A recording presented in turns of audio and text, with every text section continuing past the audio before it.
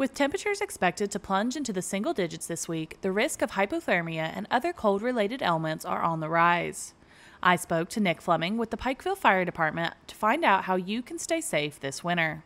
Uh, one thing we see if you're going to be working out in this environment, again, just wear the proper attire and take care of yourself. Um, make sure that you take regular breaks and warm your warm your body up. And you know, this weather, along with um, just just the general um, extra work that's required, like shoveling snow and things like that, can can sometimes take an extra toll on our body that we're not aware of. So, um, you know, you don't want to stress your body to its limits out in this weather, especially if something was to happen and you're by yourself or alone. You know, there's you know there's a little bit more risk involved. So just take care of yourself and make sure to take regular rest breaks and warm up and wear the wear the proper attire, obviously. Make your ride one of a kind and see the experts at J&M Custom Auto and Off Road. It's your customization candy store. Visit jmcustomauto.com and select your make and model. It's that easy. Window tinting, remote starts, leather interiors, sound systems, front and rear bumpers, spray and bed liners, bed covers, wheels and tires, lift kits, step rails, even underglow light kits, and so much more. If you can dream it,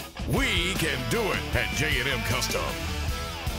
Symptoms of hypothermia include slurred speech or mumbling, slow, shallow breathing, weak pulse, clumsiness or lack of coordination, drowsiness, confusion or memory loss, and loss of consciousness.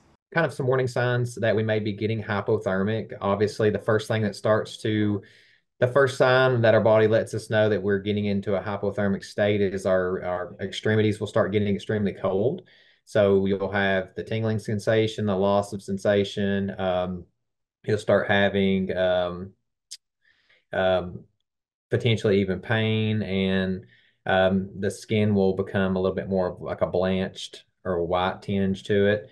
And long before that happens, we need to go ahead and get into a warm environment. With frostbite, you'll start seeing uh, some signs of it where they'll obviously they'll lose sensation uh, in that area. They'll start having the discoloration and it'll be more of a red and a white color first. Um, and it'll actually get a waxy appearance.